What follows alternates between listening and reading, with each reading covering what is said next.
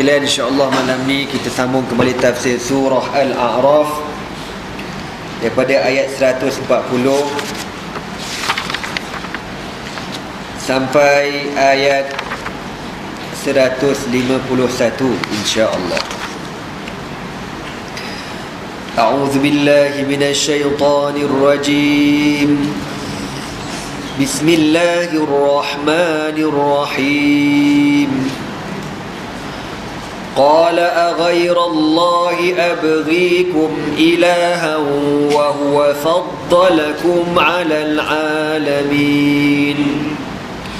وإذ أنجيناكم من آل فرعون يسومونكم سوء العذاب يقتلون أبناءكم ويستحيون نساءكم وفي ذلكم بلاء من ربكم عظيم.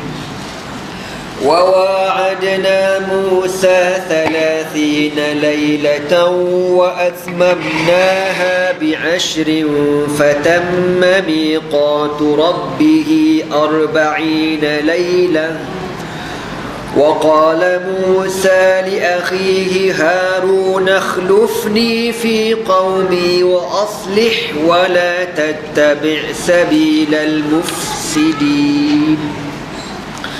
ولما جاء موسى لميقاتنا وكلمه ربه قال رب أرني أنظر إليك.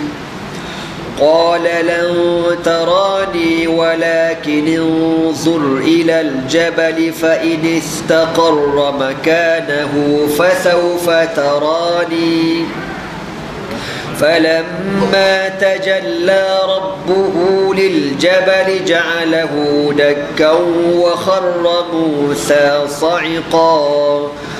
فلما أفاق قال سبحانك تبت إليك وأنا أول المؤمنين. قال يا موسى إني اصطفيتك على الناس برسالاتي وبكلامي فخذ ما آتيتك وكن من الشاكرين. وكتبنا له في الألواح من كل شيء موعظة وتفصيلا لكل شيء فخذها بقوة فخذها بقوة وأمر قومك يأخذوا بأحسنها. سأريكم دار الفاسقين.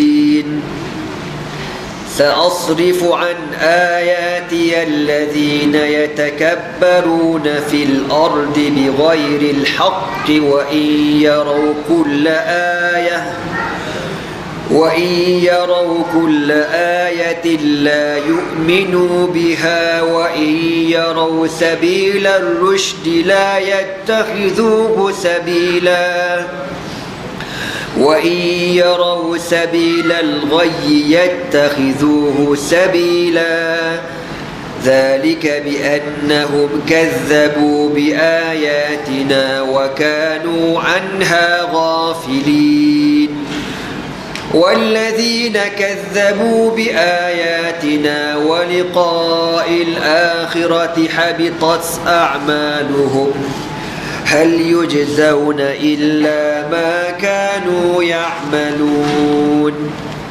واتخذ قوم موسى من بعده من حلهم عجلا جسدا له خوار. ألم يروا أنه لا يكلمهم ولا يهديهم سبيلاً؟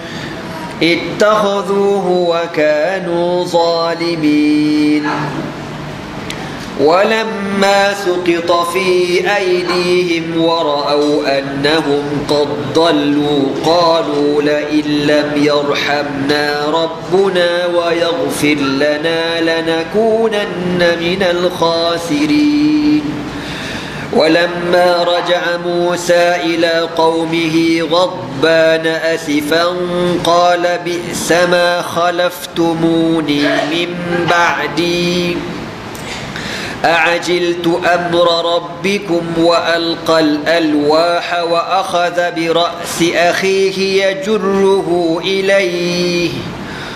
قال ابن أم إن القوم استضعفوني وكادوا يقتلونني فلا تشمت بي الأعداء ولا تجعلني مع القوم الظالمين.